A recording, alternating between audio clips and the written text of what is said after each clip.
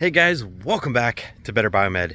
Today I'm packing up and I'm heading out for some PMs. Yes, I still do those. And, um, you know, I, I just realized that I never showed you guys one of the coolest tools that's in my arsenal for when I'm out there in the field doing PMs. You know, it's never professional to go into a site with all your stuff just hanging out, falling all over the place. Maybe some of your tools aren't as clean as you'd like them to be. There's a variety of reasons why you might want to use something like this, but let's go ahead and take a look at the Craftsman Rollaway.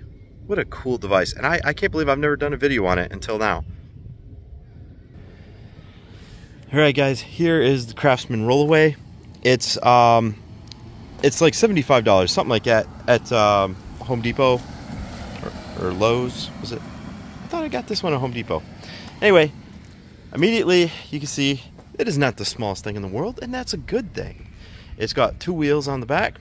It's got tie-down straps, so I could tie down my uh, tool bag and stuff, or my parts. I could actually tie down quite a bit of stuff. And I do believe that there is some sort of um, system that kind of attaches to this. But anyway, I don't use it for that. I use it because it's a nice, clean, sealed tote that I can take into a customer's account and I can unpack a lot of my consumables. Uh, let's say I have adhesive remover, I have uh, lubricants and stuff like that. You know, all that stuff is kind of messy to haul around. This is a nice and neat method for doing it. So you see that there's a grab handle on one side. There's metal tie downs. There are very firm metal latches. You can hear it, it really clicks. And so there's locking points in the front, on the corners. You can lock it down. It's, it's a really well-made tote. It seems to be very strong, and yes, at 200 pounds, I can stand on top of it.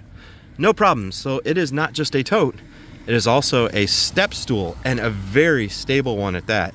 And that's at me at uh, 200 pounds. Although, you can see they say, hey, don't do that. Yeah, right. Um, you know how we are. You know, it's a work surface as well. Um, I, I like to, there's this groove right back here. When I'm writing stuff, I'll like lay my pen down there. Um, Maybe I'll put some magnets or something up here. But anyway, let's go ahead and open it up. It does have a uh, full perimeter seal. That makes it watertight. Um, you can see I got a bunch of stuff in here. I've got my uh, Packout vacuum. I've got some wipes. I got a multimeter. I've got some sockets, some consumables. Um, I know I got some lubricants and stuff in there. Yeah, see down in there. So um, there's a bunch of stuff that I can fit inside this, and I'm obviously I'm gonna fit some more stuff like some PM tags in there. But it's it's a pretty good tote.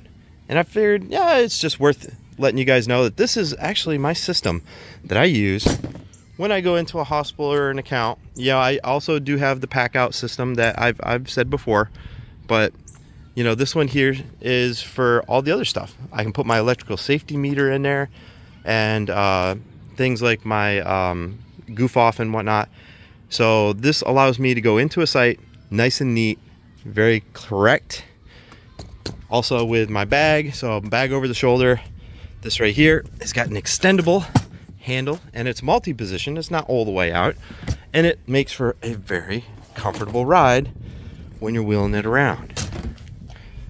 It's a cool tote. I like the added touches of the metal tie downs as well. So it does fit in the back of my truck, which is probably one of the most important things. So I do have a low profile truck bed, but it still fits between this rib and this rib right here nicely. And I don't have to tie it down. It just kind of sits in there with the tailgate up. We're good to go. So anyway, guys, that is the Craftsman Rollaway. I do know that they make a bigger one, uh, but this one here, uh, let's see, it says maximum 80 kilograms, and on top of it, says maximum 110 pounds stashed on top. I wish I knew how big this one was. I pulled off all the labels because who needs labels? It does have a metal axle, so it's very durable. It's a good kit. Anyway, just thought you guys should know. Anyway, guys, it's time to get on the road. Let's go get some work done. Thanks for watching, guys.